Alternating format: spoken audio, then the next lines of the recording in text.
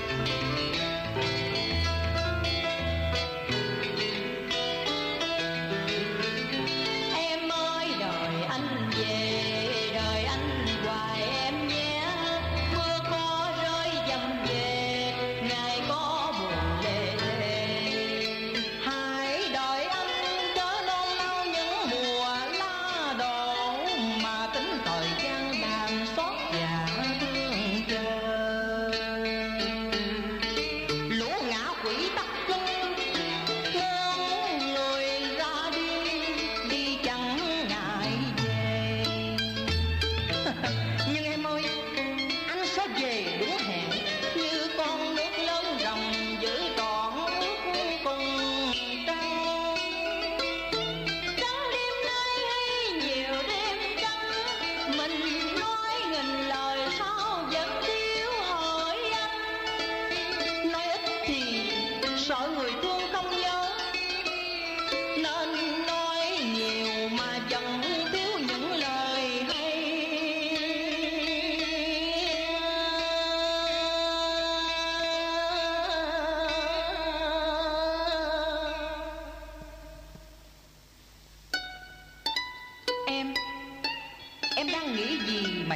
trên tay dội rất từng mảnh nhỏ đôi mắt xa vời đẫm ướt giọt sương đêm.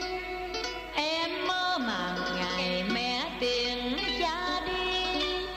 Giữa mùa vú sữa lòng ngân tiếng trời thương. Nhớ, đêm mấy cũng trắng trắng bờ sông, con nước rồng bình rịnh lúc trắng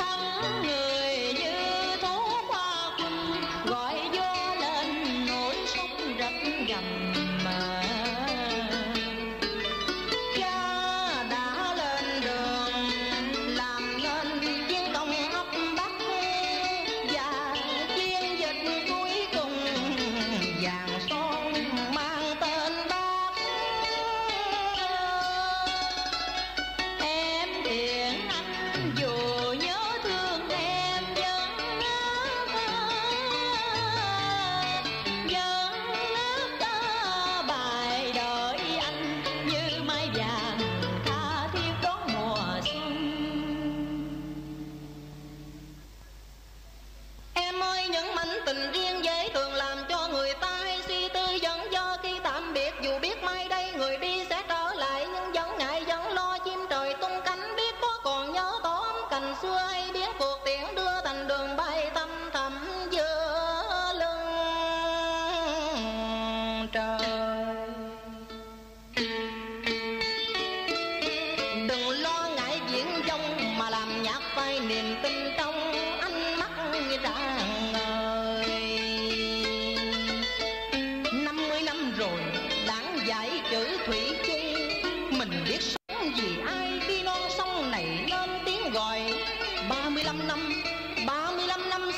Cùng lửa coi